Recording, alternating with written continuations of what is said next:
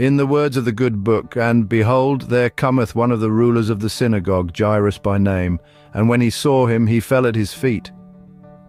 Picture a man of stature, a ruler of the synagogue, a man named Jairus. His world is crumbling around him. His heart, heavy with grief and desperation, he finds himself at the feet of one man, Jesus. His plea is simple, yet it carries the weight of the world. My little daughter lieth at the point of death, he implores, his voice trembling with emotion.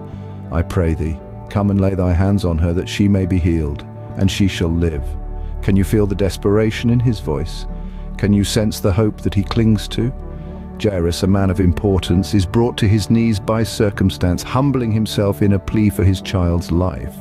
His faith in Jesus is unwavering, his belief in the miracle that can be done unwavering. This is not just a plea, it's a testament to a father's love for his child.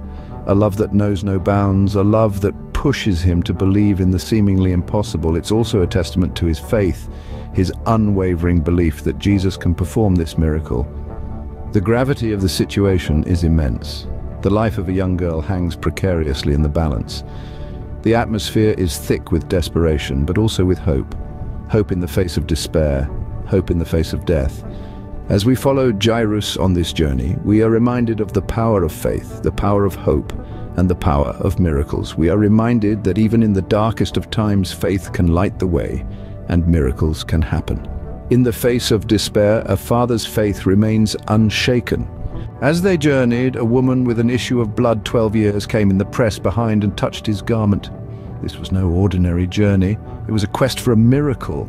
A desperate father, Jairus, leading the way, his heart pounding with every step. Jesus, the miracle worker, calmly following, his presence alone a beacon of hope. But there was an interruption. In the crowd, a woman frail and weak had been suffering for 12 long years. She was a living testament to human endurance, her faith unyielding even in the face of relentless pain.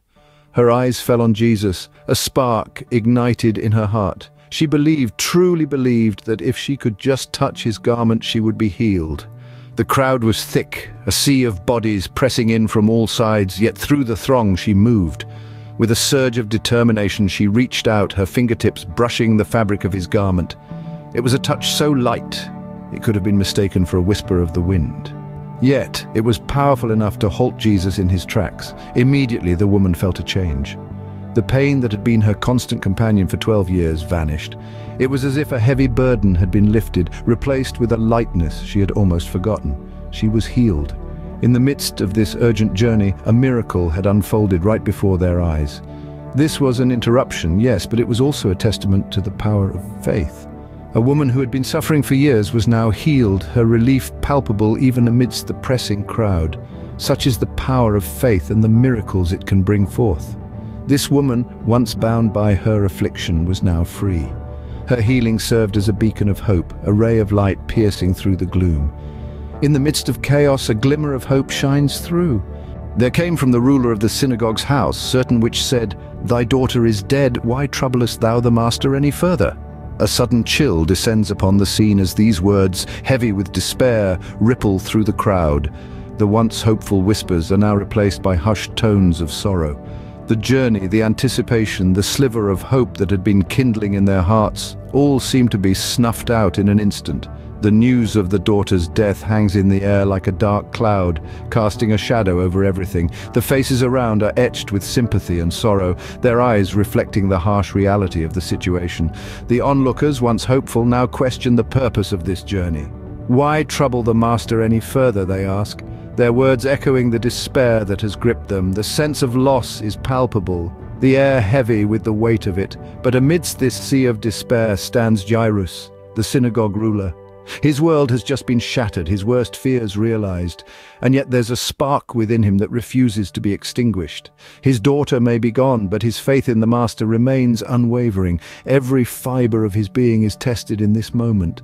The pain of loss threatens to pull him under, but he clings on to the one thing that's keeping him afloat, his faith his faith in the Master, his faith in the miracle that he had sought. He doesn't let the despair seep in, doesn't let the sorrow drown him. His faith, his unwavering faith, is his anchor in this storm. Even in the face of death, faith does not waver. This is the testament of Jairus, a testament of unwavering faith, even in the face of the greatest loss. His story is a testament to the power of faith, to the strength it gives us to face even the most devastating of circumstances. His faith is his shield, his strength, his beacon in the dark. His faith is what keeps him standing, even when the world around him crumbles. As soon as Jesus heard the word that was spoken, he saith unto the ruler of the synagogue, Be not afraid, only believe. With these words, a beacon of hope was ignited, cutting through the fog of despair that had enveloped Jairus. The journey to his home seemed to stretch on and on, each step echoing with the weight of anticipation. Upon their arrival, the house was shrouded in an air of melancholy, the grief palpable. But Jesus, the embodiment of calm amidst the storm, moved forward, his gaze steady and purposeful. The onlookers held their breath as he approached the lifeless form of the girl, their hearts pounding in their chests. He took her by the hand, a touch so gentle, yet so full of power. The room was deathly silent, the only sound being the soft rustle of his robes and the faint whisper of his voice as he commanded, Talitha cumi, which is being interpreted, Damsel, I say unto thee, arise. And then a miracle. Her chest began to rise and fall, the sweet rhythm of life returning to her. A gasp echoed through the room, eyes wide with disbelief, hearts overflowing with joy. The dead girl, now full of life, stood up and walked, to the utter amazement of all present, it was a moment that defied all logic, a testament to the boundless power of faith. The impossible had been made possible, the irreversible reversed, life had triumphed over death, love over despair. The miracle was not just the girl drawing breath again, but the restoration of hope, the rekindling of faith, and the affirmation of the divine power that has the final say over life and death. The room filled with a sense of awe, a reverence for the divine wonder they had witnessed. The air was thick with emotion, tears of joy trickling down faces, smiles breaking through the somber atmosphere. The miracle had unfolded, life had returned where it was thought to be lost forever. A miracle born of unwavering faith. And so, the story of Jairus' daughter serves as a reminder to us all. When faced with the impossible, when hope seems lost, remember this miracle, remember the power of unwavering faith. And he charged them straitly that no man should know it, and commanded that something should be given her to eat. With these words, Jesus concludes an extraordinary event with a humble request, a request that speaks volumes about his character, his mission, and the nature of the divine power he exhibits. The miracle wasn't performed for spectacle or fame, but out of compassion and love. This is a crucial element in understanding the moral of our story. There's a profound lesson to be learned here, a moral that goes beyond the confines of this single event and speaks to the hearts of all who hear it. It's a lesson about faith, unshaken, unbroken faith. The faith of Jairus, who, despite all odds, believed in a miracle.